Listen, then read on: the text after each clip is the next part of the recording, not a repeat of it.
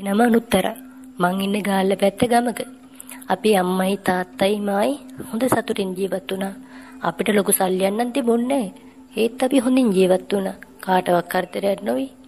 ඔය අතරදී නොසිතූ විරු සිදුවීමක් වුණා.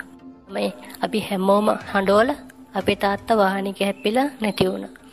නම් දරා ගන්න ගොඩාක් අමාරු වුණා. ඒත් පහු වෙනකොට ඒක හරි ගියා. අම්මත් බොහොම අමාරුවෙන් තමයි ජීවත් වුනේ. ඉන්නේ විතරනේ දැන් ගෙදර ඉන්නේ. ගොඩක් සමාජයෙන් අපිට කරදර වෙන්න පටන් ගත්තා. ඔය අතරේ අම්මෝ වෙන කෙනෙක් එක්ක යාළු වෙලා අපේ නිමල් බාප්පව බැන්දා. ඊට තමයි නිමල් බාප්පා අපේ ගෙදරට ආවේ. එයා ආවට අපේ ගෙදරට මේ මට වෙනස්කම් නම් කළේ නැහැ. මුලින් නම් ගොඩක් සතුටින් අපි හිටියා. තාත්තා නැති අඩුව එයා පිරිමහන උත්සාහ කළා. අපිට සල්ලි වලින් අඩුවක් ඕනේ නැහැ.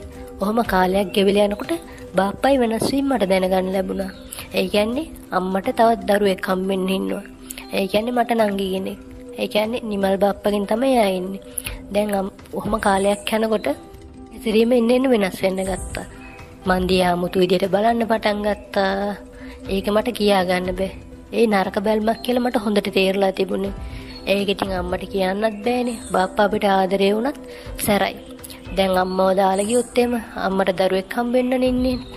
මගේ බඩට දවස් සති ගෙල්ල අම්මට දරුවෙක් හම්බෙන්න හිටියා. අම්මා හොස්පිටල් නැවතුවා. එදා ගෙදර හිටියේ බාප්පයි මායි විතරයි. මට නිින්ද ගිහින් තිබුණේ. කවුරු හරි මාව අත ගන්නවා වගේ දෙන්න මට හැරුණා එකපාරට. මං එකපාරටම දැක්කදී මගේ ඇස් දෙක අදාහ ගන්න බැරි වුණා. බාප්පා මගේ ඇඳේ මං කෑ ගැහුවා. ඒත් වැඩක් උන්නේ බාප්පා මගේ කටින් කට වහලා කට වහපන් නැත්තම් උඹයි අම්මෝයි මරනවා කිව්වා. ඊට පස්සේ බාප්පට ඕනි දේවල් මගෙන් කරගත්තා. මං පරිස්සම් කරගෙන තිබුණ දේවල් ඔක්කොම බාප්පා ඉති කරගත්තා. ඊට පස්සේ මගේ ජීවිතේ ගොඩක් වෙනස් වුණා. මං මේ අද ඉන්න තත්ත්වයටපත් උනේ ওই සිද්ධියෙන් පස්සේ. මේ වගේ ගොඩක් සිදුවීම් වෙලා තියෙනවා. මම හැම දෙයක්ම එකින් එක මම ඔයාලට කියන්න බලාපොරොත්තු වෙනවා. අපේ YouTube channel එක subscribe කරලා අපිත් එක්ක එකතු වෙන්න.